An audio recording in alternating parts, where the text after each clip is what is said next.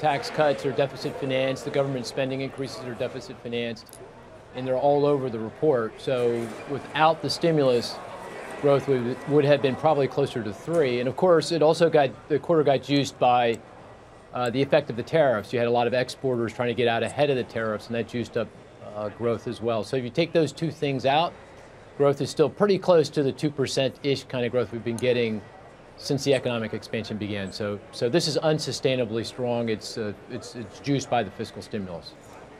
Unsustainably strong. Just want to get some initial reaction from the president, who's just tweeted 55 seconds ago.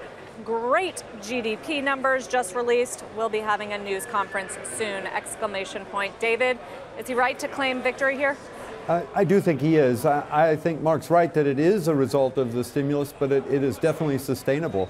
What it's done is kickstart the economy to the next level, particularly the tax cuts, and that will be sustainable over many more quarters. Uh, the key here will be more good news like the president had with the agreement in principle with Europe that we would reduce tariffs rather than get into a tariff war. I, I think that will then bring yet another wave of growth into the economy. Mark, does this influence how you look at the Fed and the Fed's path for the next year? No, this is a total, totally descript. I mean, when the tax cuts were implemented and, this, and, the government spending increases passed earlier in the year, and we saw what that would do to budget deficits, uh, it was pretty clear we were going to get this kind of growth uh, through the remainder of this year into the first half of next. And at this rate of growth, uh, unemployment, which is 4%, will continue to decline. It'll go into the low threes by the end of the decade. And you combine that with inflation that's now at the Fed's target, will accelerate to over the Fed's target. The Fed will have no choice but to normalize interest rates more aggressively. So that's what the script they've laid out for us, and, and that's the script uh, that we're, you know, this looks like, this report is very consistent with that script. Uh, David, uh, don't hear a lot about deficits. Mark just mentioned it, of course. I think we got a trillion dollar potential deficit on hand this year as a result of the lower revenues coming in, as you might expect from corporations. The counter argument is hey, economic growth is going to be higher for quite some time, and that's going to generate additional revenues that will make up for the shortfall. I would assume that's where you fall on this. Is that your expectation?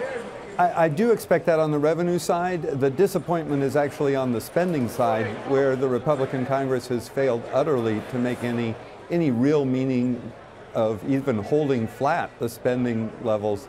Uh, that's what, how you tackle deficits is by keeping a brake on the spending, and they haven't done it. The revenue will make up for itself with the growth in the economy, and frankly, had they even just kept spending flat, I think we'd see us moving towards a balanced budget actually.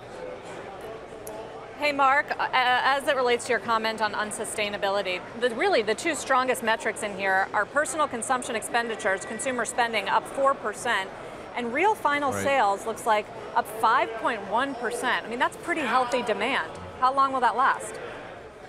About a year. Uh, that's the that's the length of time where we're going to get the uh, increases, uh, the cuts in taxes flowing through to the consumer, uh, and that that's going to juice up growth. The the other, uh, at least in terms of consumer spending, and then it goes away. So, you know, by late 2019, as we make our, into 2020, our way into 2020, the tax cuts uh, benefits are over, and that spending will come back down to earth. Uh, the other uh, factor juicing up final uh, final demand, of course, is, are those exports, right? So.